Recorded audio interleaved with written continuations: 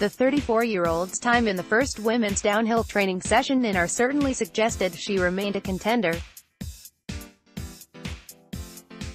The greatest of female skiers, who has battled knee injuries and said last week that her body was beyond repair, was first out of the start hut and ended up equal 11th fastest despite easing off at the end. I hate number one, first training run like it's the worst number to have, she told Eurosport television in the finish area. My line was definitely wrong on a couple of parts of the course and it cost me a lot of speed. I think in general my skiing was pretty solid, she added. I just wanted to have a nice clean run, get that feel for the terrain for tomorrow for the Super G. And I did that, so it's all good. Vonn said preparing to bow out after so many years was a weird feeling and she would just do her best, whatever level that turned out to be. I'll just try as hard as I can and maybe I'll get lucky, she said.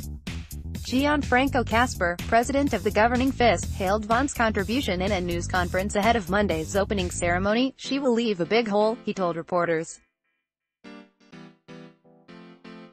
She was one of our really great ambassadors, a PR machine for our sport and we are more than grateful. Five Austrians were in the top eight of a delayed session led by Tamara Tippler, who was 1.44 seconds faster than the American, the 2010 Olympic downhill champion. Switzerland's Corinne Suter was second fastest with Norway's Kajsa Vickhoff third. Olympic snowboard and Super G champion Ester Ledecká of the Czech Republic did not finish the training run while World Cup Super G leader Mikaela Shiffrin, Vonn's teammate, was one of six who did not start. The two-week championships start on Tuesday with the women's Super G. The women's downhill is on Sunday, a day after the men's race.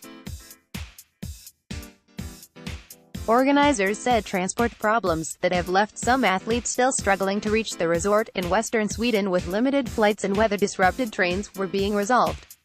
All competitors were expected to be in Are by Monday night, writing by Alan Baldwin in London, editing by Preetha Sarkar.